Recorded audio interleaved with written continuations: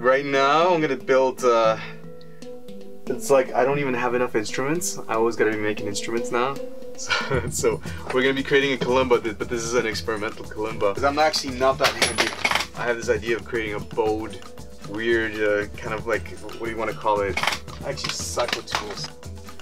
Is this one? This one? Really bad. kind of a resident kalimba machine so we can use it uh, on the game and get all the weird stuff because right now we don't got enough weird things. Got my old guitar, my first guitar ever that I had when I was 13. I'm gonna I'm gonna convert it. got some wood. Got a grounding bar. This is really good actually. That's good.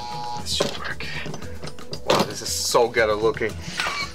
no comments for the cameraman. so this is electrician's wire.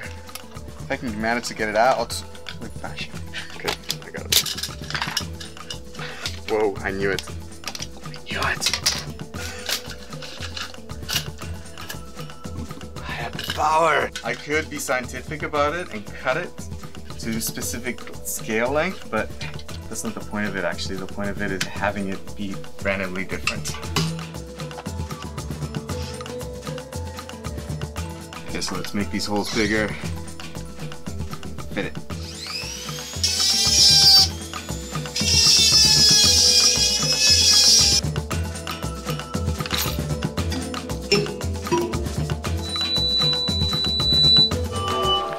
So this is this is called a piezoelectric pickup, and uh, basically it's this thin sheet of metal of copper metal that picks up the vibration. So it has to be in in contact with the with the actual wood.